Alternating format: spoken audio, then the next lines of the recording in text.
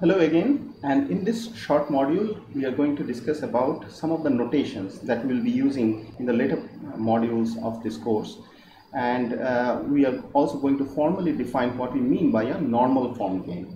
Sometimes it is also called the strategic form game going to be used interchangeably to uh, uh, to refer to this these games. Uh, let me just uh, mention that this is a representation technique of the games. So how do we represent a game in normal form? So we first define the set of players. So by n we define uh, n uh, different players and by si defining the set of the strategies for player i. We have already seen an example and we will also see another example very soon. And by the lowercase of, uh, of si we will be denoting an element of si which is one specific strategy for player i.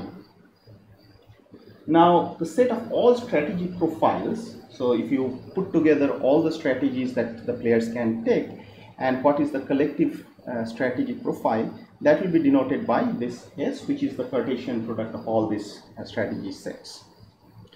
Now what is a strategy profile? So one specific strategy profile would be all the lowercase, some instances picked from each of this set, a vector of all the strategies picked by all these players and that is belonging to this set capital S. We will also use a very special notation and this is possibly a very special notation for game theory and we uh, of course use it uh, many times. So it means that, uh, uh so this the notation is S of uh, minus i and it means that the strategy profile without uh, agent i, a player i. So it, it is listing all S1 to S i minus 1 and except si it is going is jumping over to si plus 1 until s of n. Right? So this is in some sense uh, very succinctly representing uh, what is the strategy profile that has been picked by all the other agents except agent i. The third important piece is the the utility. So utility is actually taking the the strategy profile. So once all the players have picked their strategies it gives you a specific strategy profile and the utility is mapping uh, that to a real number. So notice that this utility is different for different agents. So this is the utility function for the player i. So normal form game representation is typically given by this tuple where the first uh, entry is the, the set of players. The second entry is the set of all strategies, strategy sets for all the players and the last one are the utilities for all these players. So this tuple will uh, succinctly represent one normal form game. So whenever you are representing some game, whenever you are talking about a game, uh, you should be able to give all these uh, specifications of that game. That is what is uh, what this formalism do. Now, uh, if SI is finite, uh, so we know that the so in this description the the set of players is already finite uh, if SI is also finite, then this is called a finite game. And we'll see that there are certain uh, uh, things that we can actually say about finite games, which we cannot say in the uh, context of infinite games. So let us look at a very simple example of, of a game.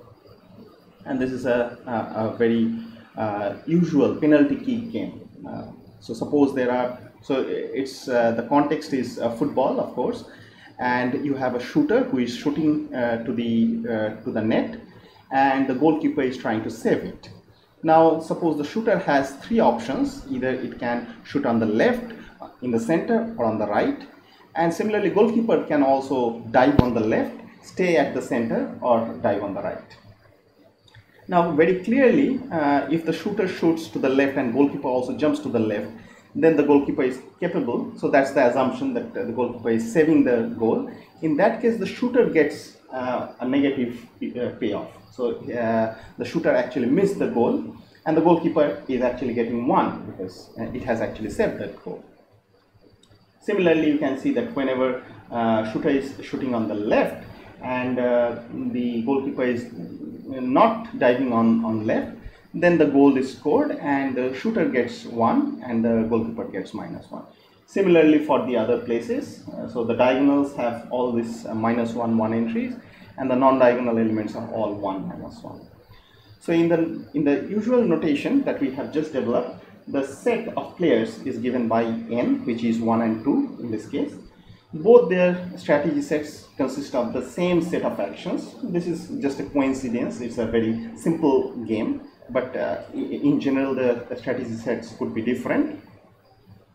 And the utilities are given as follows. Uh, you have this utility of L and L. So when both these things are L, uh, for player 1, it is minus 1 and uh, when L and C and for L and R the utilities are 1 respectively. Now similarly you can also consider the, the, the other player's utility for player 2 L and L is 1 and for the other two it is minus 1. So it is actually uh, taking care of the first row but uh, you can just finish the finish the rest of the things. What is U1 of C comma L and C comma C and so on, you know that, that that is for player 1 it is going to be these numbers and for player 2 it, this is going to be these numbers okay, so you can finish this up so now the game theory uh, uses two very important uh, assumptions that we have already discussed in the in one of the previous modules uh, so it is uh, so the first assumption is of rationality what does it mean it means that a player is rational if she picks the action to maximize her utility so uh, in this uh, in this example of this game, the shooter and the goalkeeper always tries to pick the action that maximizes their utility. That is what rationality means. Intelligence, on the other hand, is a little uh, circular in its definition.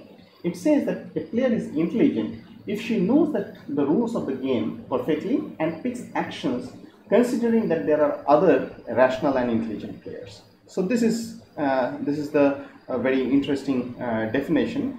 Um, as we'll see more uh, examples, we'll see that the implication of intelligence means that people will actually behave in the way a game theorist will analyze the game.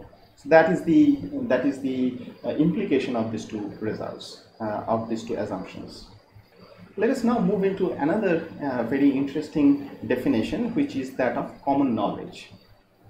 Now, the, the definition goes as follows, and let me just say that first and then we'll discuss it with an example.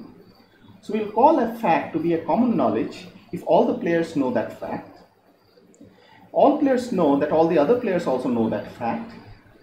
All players know that the all other players know that all the other players know that fact. And it will continue forever. Um, even though it sounds a little funny, uh, it has a very deep implication. Let me show you one example. So suppose, uh, take this example of an isolated island uh, and there are three blue-eyed people. So eye color can be either blue or black. So these are the uh, two things that we can uh, we are assuming here.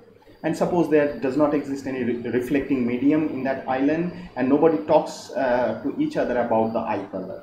So that let's make that assumption. They, they will only observe other people's eyes so they can uh, watch other people's eye colors but they cannot see their own eye color. Now suppose one day a sage comes to this island and says that blue-eyed people are bad for the island and they must leave. There is at least one blue-eyed person in this island.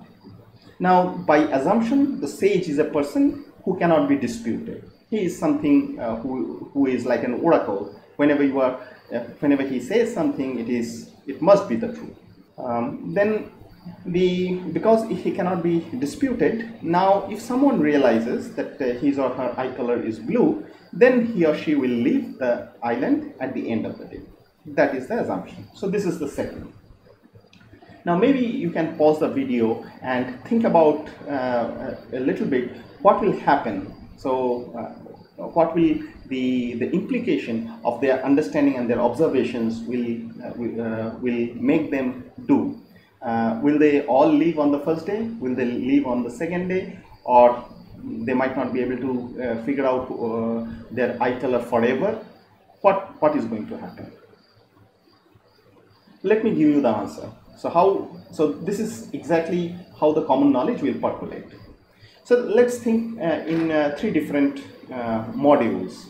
So if there was only one blue-eyed person and uh, the sage has said this thing that he has said, then he would see that the other two people are black-eyed, then he will immediately know because sage is always correct that his own uh, eye color is blue. So at end of day one, he should leave. If there were two people, then each, each one of them will see that uh, the other two people are having one uh, black eye and one blue eye. So uh, because the sage has said that uh, there exists at least one, then he might still be uh, positive. He still might think that he his uh, own eye color is not blue. Uh, so maybe this is the person, the blue-eyed person is the only person. So let's wait for his his move. And this is actually an implication of the common knowledge because he also assumes that the other person is also uh, using the same argument, same uh, uh, deduction technique.